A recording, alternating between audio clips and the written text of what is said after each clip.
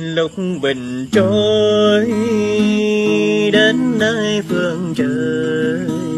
Đời tôi là dòng sông đưa phù sa một kiếp lòng đau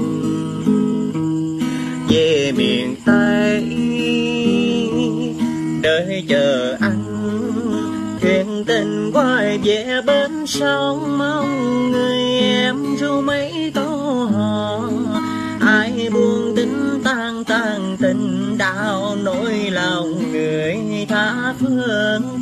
Đang buồn cũng đều quán thương bên cầu tre lắc léo năm nào.